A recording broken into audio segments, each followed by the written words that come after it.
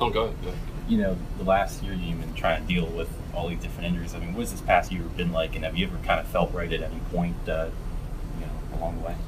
Uh, not really. After my first game this year, my very first game, you know, I started experiencing some uh, soreness on my shoulder, you know, um, and I've been throwing like that.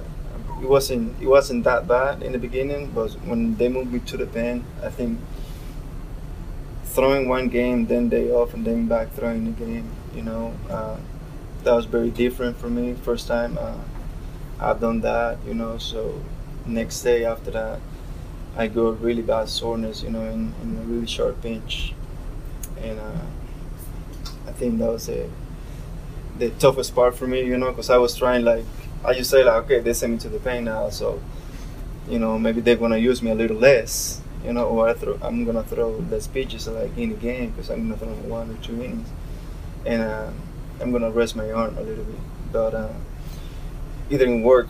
That's why I went to the DL. You know, uh, I got an MRI. It wasn't that bad. It was just an inflammation uh, on my uh, muscle and in my bone. And uh, you know, right now I'm feeling great. This is the this is the best the best I'm feeling uh, since uh, I went to All Star last year.